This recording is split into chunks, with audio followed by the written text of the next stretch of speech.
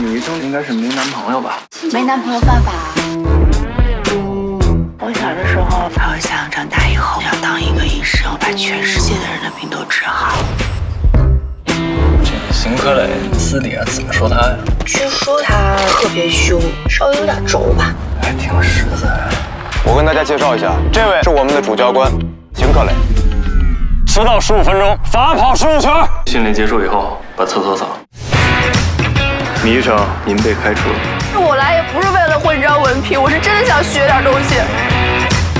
随便你。这简直是太阴险狡诈了。比这个我就舒服。你行个磊不是一直爱情绝缘体吗？怎么了这次？米医生，要不然我送你吧，晚上骑车多不安全。可我觉得我每次碰到你，米卡。更不安全。哦。他其实真的喜欢你。You。两年前我遇到过劫匪，闭嘴！当时情况特别危险。这个时候就有一个特警叔叔跟我说：“有我在，你不会有事的。”特警叔叔啊，你是不是记错了呀？有那么老吗？哎，你这人脑回路怎么那么奇怪呢？你又没看我打脸。我们特警执行任务都要戴面罩。我梦见年前的那个特警跟邢克雷长得一模一样。你说你这么多年不谈恋爱，不是真的就为了那个特警哥哥吧？帮我把这份礼物转交给当年想意识全世界的小女孩，被他守护的感觉真好。你手不是受伤了？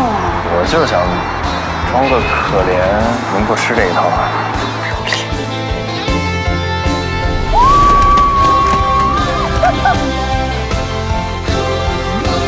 什么时候喜欢我的？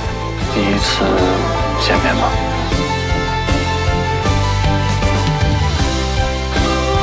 你穿着围裙真可爱。上次你说送向日葵是因为你脸大，我特意选了一个小的。无论发生什么，我都陪着你一起面对。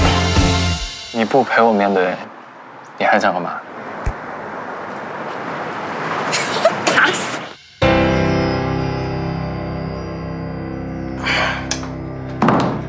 哎，米医生，最近我这个身体啊，感觉有点肿胀，这是不是什么术后的不良反应？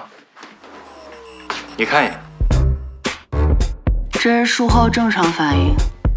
不是，你你你看看，就是我感觉我这个身体吧，这一一块一块